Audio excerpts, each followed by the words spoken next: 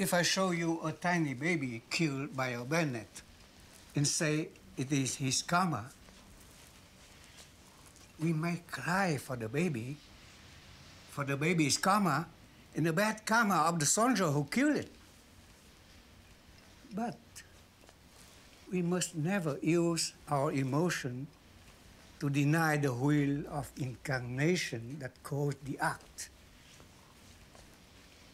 It is as natural as the movement of the sun and moon.